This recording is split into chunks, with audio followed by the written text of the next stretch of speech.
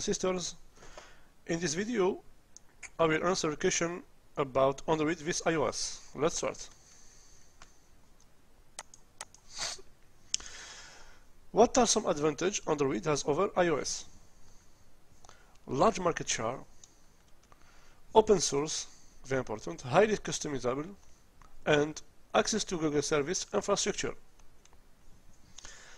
What are some disadvantages Android has over iOS?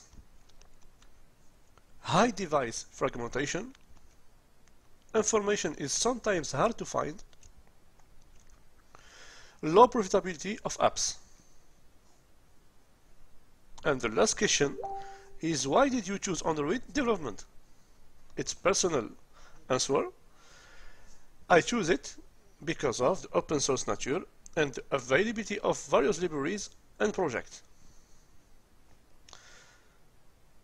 So tomorrow I will talk about Kotlin with Java.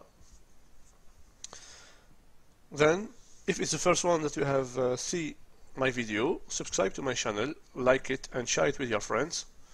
Thank you so much. I tell you to tomorrow, inshallah. Goodbye.